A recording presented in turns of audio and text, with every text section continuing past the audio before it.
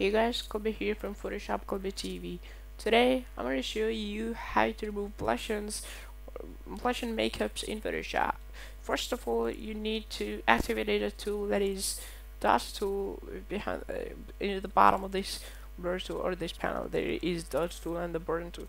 We don't need to disturb any of them. You're just needing this dodge tool, and then make sure your hardness is set it up to zero percent, and then make the size a little bit larger to this side of these blushes and then apply this brush to light on these blushes so you observe that it moves perfectly and there is no I mean dark spot remain uh, no blushing remains in there.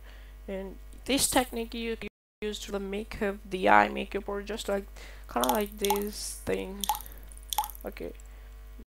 Apply this same here in the eye because I don't want this.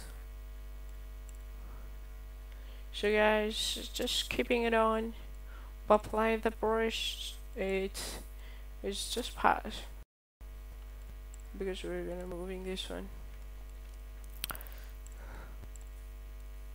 Have you absorbed? There is going then make your size a little bit smaller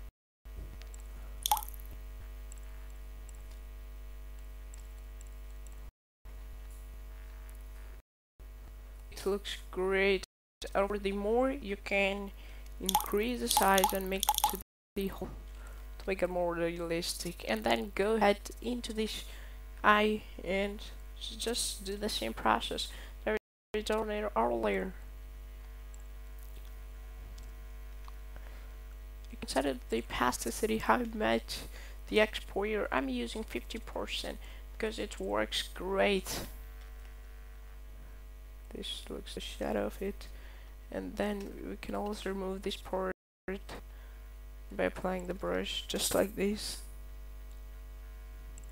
Make sure, oh sorry, don't, just get out of these hairs that we don't want to apply this around the hairs.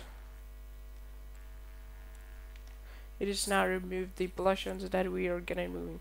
So thank you for watching and please subscribe here right now